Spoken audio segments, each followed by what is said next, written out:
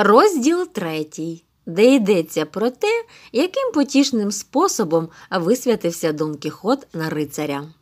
Мучений тією думкою, Дон Кіхот отбув швиденько вечерю свою вбогу корчемну, гукнув господаря, пішов із ним до стайні, а там упав перед ним навколішки і сказав Зацне рицарю, я не встану із місця, поки добродійство ваше не вчинить мені однієї ласки.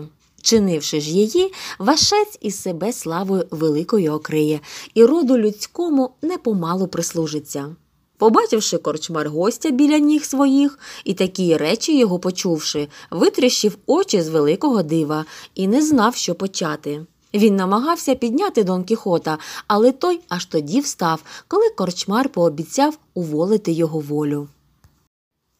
Меншого я й не сподівався від вашої, мій пане, незрівнянної великодушності, промовив тоді Дон Кіхот. Бо ласка, яку ваша гойність прирекла мені зробити, полягає в тому, щоби завтра рано вашець мене на рицаря висвятив. Всю ніч у каплиці замку панського я вартуватиму при зброї. А вранці кажу, нехай справдиться жадання моє заповідне, аби міг я повеління обов'язку мого об'їжджати всі чотири сторони світу, шукаючи пригод та допомагаючи всім скривдженим, що належить чинити всякому рицарству. А надто таким, як я, мандрованим рицарям, схильним до звершення подібних подвигів. Корчмар був, як ми вже казали, битий жак. Він і зразу був подумав, що його гість не сповна розуму, а тепер той зовсім у тому пересвідчився. Хотівши добре побавитись тої ночі, він надумав потурати всім його примхам, тож і сказав Дон Кіхотові, що схвалює його намір цілком притаманний і властивий таким знакомитим рицарям, на якого він подобою своєю бадьоростою виглядає, що і сам він, корчмар би то, замолоду теж таким хвальним промислом трудився, віявся світами, шукаючи пригод. Потім корчмар спитав в Дон Кіхота, чи має він гроші. Той отказав, що немає ні шага, бо ніде в книгах не читав, аби мандровані рицарі носили при собі побрязкачі. На те заперечив корчмар, що він помиляється, хоч у романах про те й не пишеться, бо автори не вважають за конечне згадувати про такі прості і потрібні в дорозі речі, як гроші або чисті сорочки. Однак це зовсім не значить, що в рицарів їх не було. Навпаки, йому достеменно відомо, що всі мандровані рицарі, про яких понаписувано цілі стоси книг, мали про всяк случай добре натоптані гаманці. Брали вони з собою і сорочки білі, і слоїки з мастю, рани гоїти. Дон Кіхот пообіцяв так усе достату вчинити, як радив йому кастелян а сам заходився влаштуватись до цілонічної варти коло зброї на просторому подвір'ї, що до корчми тієї збоку притикало. Позбирав увесь свій рештунок, склав на жолоб напувальний коло колодязя. Сам же, нахопивши на одну руку щита, а в другу списа взявши, почав перед жолобом поважно і ніби з погорда туди-сюди походжати. Як заступив він на варту, то і ніч якраз запала. Корчмар же тим часом розповів усім, хто в його корчмі був, про божевілля свого нового нічліжника, про тіє вартування над зброєю та про обряд висвяти на рицаря, що мав по тому відбутися. Всі дуже тим химородам дивували і вийшли, щоб на Дон Кіхота іздалеку поглянути а він ходив собі велично взати вперед або спинявся раптом і, спершись на списа, пильно дивився на свій бойовий обладунок. Ніч була вже пізня, але місяць так розсвітився, ніби в сонця все проміння забрав, і всі добре бачили, що витворяв новонасталий рицар.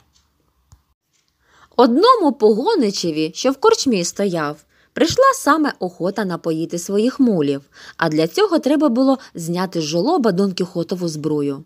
Як забачив наш рицар того напасника, заволав одразу дужим голосом Хто б ти не був, озухвали рицарю, що вважишся доторкнутися до зброї найславетнішого з усіх мандрованих рицарів, які будь-коли приперезувалися мечем. Подумай, що робиш, не руш її, бо головою за своє зухвальство приплатишся. Погонич не зважав на тії погрози, а краще б йому було зважити, ніж здоров'ям своїм так необачно важити. схопив збрую за ремінняча і кинув її якомога далі.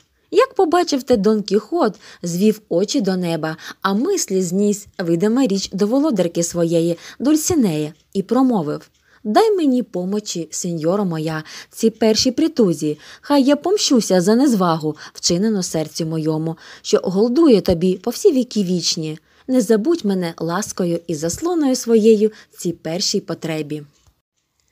Проказавши таку орацію і ще багато дечого, відкинув геть щита, підняв обіруч списа і так ним у голову погоночі відторохнув, що той зразу як мертвий простягся. І ще б один такий удар, то вже ніякий лікар його не одволав би. А Дон Кіхот позбирав збрую свою і знов почав походжати собі любісінько, як і перше. По малій часині встав другий погонич, не знаючи, що сталося з його товаришем, бо той ще лежав та чмелів слухав, і теж хотів своїх в'ючаків напоїти. Підійшов до жолоба і давай збрую скидати, щоб місце звільнити. Аж тут Дон Кіхот, не кажучи ні слова і не кличучи більш нікого на поміч, і знов кинув щита, знов махнув списом і так на хабу по голові лулуснув, що спис, хоч і цілий зостався, так у того ж череп не на троє, а, мабуть, на четверо розсівся. На той галас позбігались усі нішліжани корчемні. Прибіг і сам господар. Тоді Дон Кіхот, затиснувши однією рукою щита, а другою за меча схопившись, покликнув. О, царице вроди, силе мого знеможеного серця, зверни в цю хвилю очі величні своєї, на полоненого тобою рицаря, бо над ним не бувала нависла небезпека. Ці слова такого додали йому духу, що, здавалося, якби на нього вдарили погоничі з усього світу, то й тоді ані на крок не отступив би. Товариші поранених, побачивши їх у такому стані, почали здалеку кидати на Дон Кіхота каміння, а він затулявся скільки мога щитом, та от жолоба не отходив, щоб збрує на призволяще не лишати. Корчмар водно гукав на погоничів, щоб дати спокій рицареві. Казав же він їм, що то божевільний, хоч і всіх переб'є, то йому за те нічого не буде. А Дон Кіхот не вгавав, усе знай галасував. Гостеві витівки остобісили корчмареві, і він вирішив покласти їм край. Дай, думає, от буду вже зразу той триклятий обряд. Висвячу його на рицаря, поки іншої якоїсь халепи не склалося. Підійшовши до Дон Кіхота, він перепросив його за тих гультяїв, котрі без панового відома так нечемно супроти гостя повелися, за що вже слушною здобулися кари. Потім нагадав йому знов, що при замкові немає каплиці, але для довершення обряду воно не конче і потрібне. Для висвяти, згідно з заведеним церемоніалом, це вже він, напевно, знає. Найголовніше по шиї дати та голим мечем по плечах ударити, а це хоч і в чистому полі зробити можна.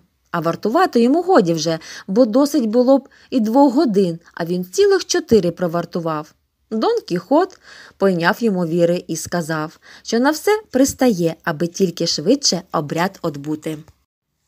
Мудрий по шкоді господар метнувся боржій по книгу, де записував сіно та ячмінь, що на мулів видавав. І знов вернув до Дон Кіхота в супроводі тих двох молодиць та хлопчика, який тримав недогарок свічки.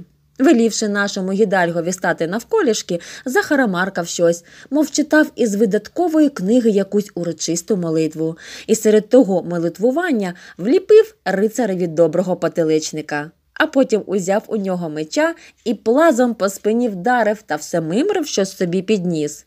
Сіє, зробивши, велів одній молодиці приперезати йому меча. Вона вчинила те з великою спритністю та делікатністю, хоч і регітно їй було з цієї тої церемонії.